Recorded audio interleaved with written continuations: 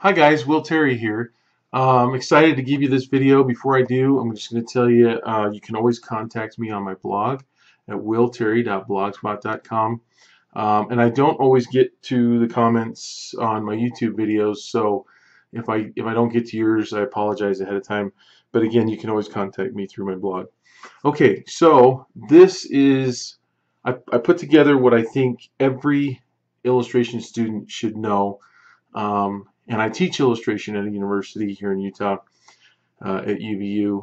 And so what I'm going to tell you, I've told my students there, and I hope this really helps you. Okay, so I'm going to start by saying saying goodbye to the word maybe. Okay, so let's start talking about what you want as an illustration student, as a beginning illustrator, as somebody who wants to get into the field. If you're like me, uh, when I first started, what I wanted more than anything else was to make a living doing what I wanted to do, which was to draw and paint, to paint for a living. So basically, I wanted to earn money doing what I love to do. Uh, so let's talk about the way things have been in the past, and then we're going to move to the present and future.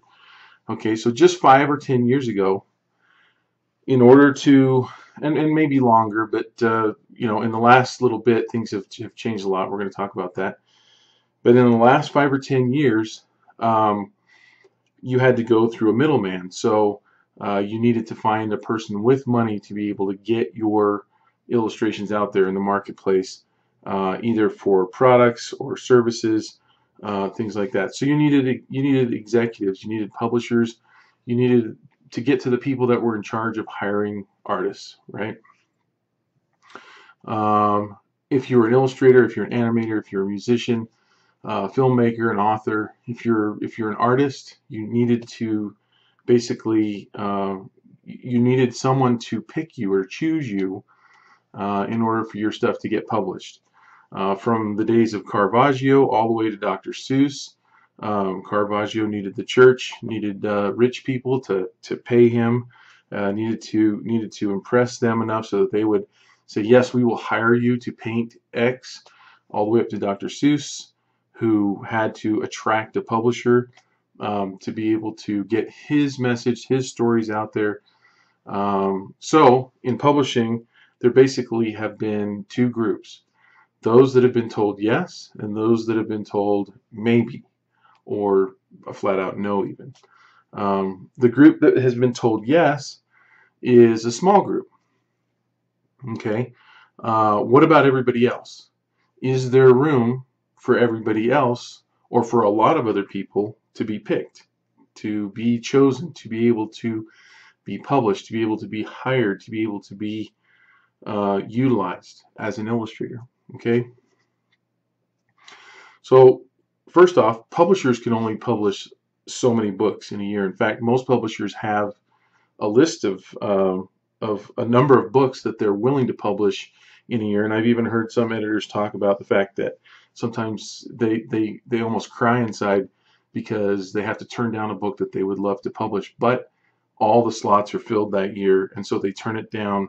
And sometimes those books get go on to get picked up by another publisher um, because they're so good, but there just wasn't room in the year that they submitted it the first year. Maybe it, it takes them another year or two or three or four um, to finally get published. Okay, so now we enter into, oh, let's say 2008, when the economy starts to really go south and um, and things start to, the economy starts to really suffer. Uh, at the same time, in the last 10 or 15 years, uh, we've had digital media taking off. And so we've got this, we've got um, story apps and we've got digital ebooks, um, and they're all, because of that explosion, that started to compete with print books. So that so that's a factor right now that's going on. Uh, and I'm just going to read this next part because I've, I've taken notes that I, I want to make sure I get all this stuff in there. Um, if the internet has exposed many more talented authors and illustrators, and with sites like Pinterest, DeviantArt, Illustration Friday, uh, blogs, etc., artists are learning from each other and online. Online education getting better and better and cheaper than ever before. Sites like lynda.com newmastersacademy.org, Folio Academy, that's one of mine. Uh, SVS, a story, um, School of Visual Storytellers, which we're just getting going right now. You got the Lamppost Guild by Corey Godbey and Justin Gerard. Um, all kinds of online schools, online uh, ways to learn to to uh, improve your um, your education. It's getting cheaper and it's getting easier to attain, and you can have access from some of the best instructors in the world. Um, now, at the same time, I want to I want to uh, insert a little disclaimer here. I work for the university. Uh, I teach at uh, UVU, and I am definitely not saying that online excuse me that online learning is better than um, learning at a university. So here's some of the differences.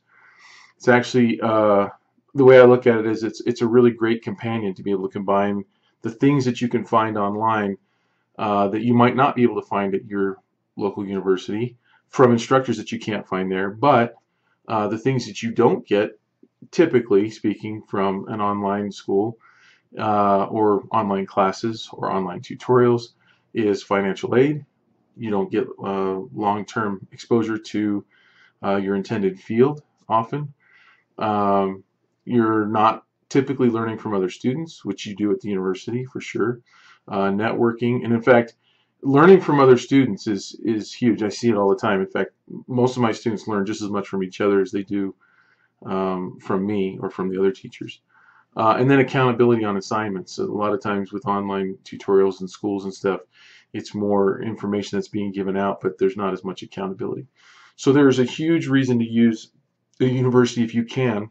But my point in all this is that the talent pool right now is going is skyrocketing because uh, the internet has made it possible to find illustrators all over the world, uh, and the amount of talent that's out there is amazing. Uh, I used to think that there were a lot of talented people uh, 10 or 20 years ago, and when we when everybody put their stuff in the workbook and it was about that thick.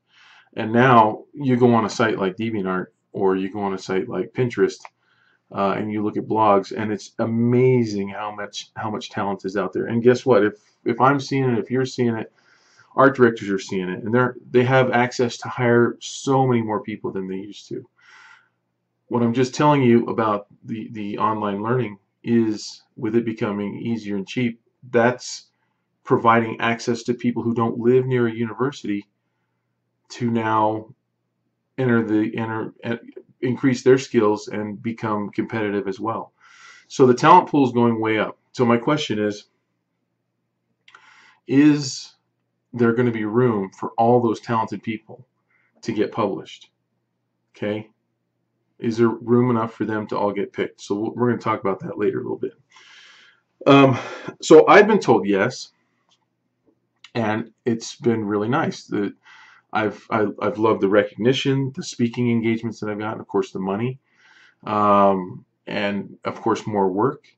Um, so you might be asking, well, if you've already been picked, Will, if you've already been you've already been accepted into the publishing world, why do you care, and why are you even bringing this up as a subject? And the reason is because I feel like one of my callings is to be a teacher, um, and I feel very strongly about truth in education.